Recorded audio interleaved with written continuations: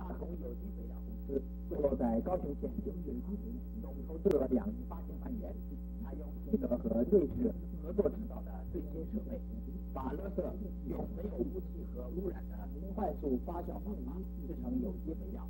是目前世界上处理垃圾最卫生的科学方法。据今天前往参观的高雄县长林彦元表示，这家工厂在一万作业的操作中，每天可以处理八百如何消化高频地区产生的垃圾？